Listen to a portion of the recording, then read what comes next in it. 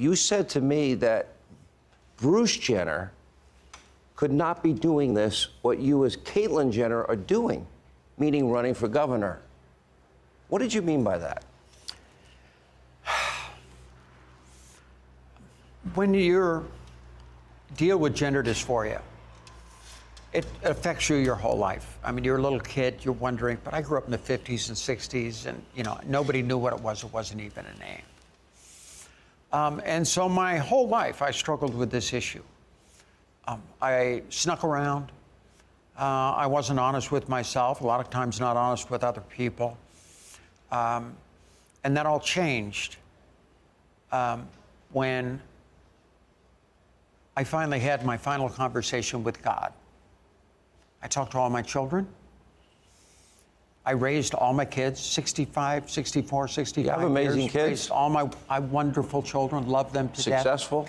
They've all done very well. Yes, they have. But discussed with all my children, but the last thing I had to do was sit down with my pastor. Because if anybody has any issues in their life that they're struggling, and everybody does, everybody's got stuff they have to deal with. And if they have any faith in their soul whatsoever, they sit there and they go, God, why'd you do this? Why is this issue for me of identity in my head 24 hours a day, every day, 365 days out of the year? You can't take two aspirin, get plenty of sleep, wake up the next morning, and you're fine. It's just always there. It's who you are. But why? And so this question was always in my heart. And sitting, I, I sat down with my pastor, and you know what? I thought, is there a reason for this?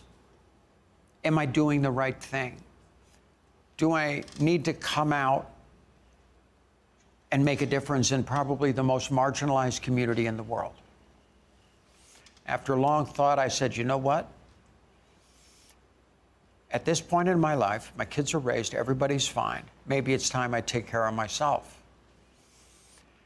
Because when that day comes and you go up to the pearly gates and you're walking up the stairs and you're seeing God in front of you, and you just ask that question Did I do a good job?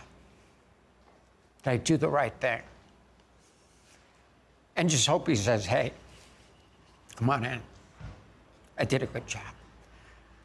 So that's what my life's been about.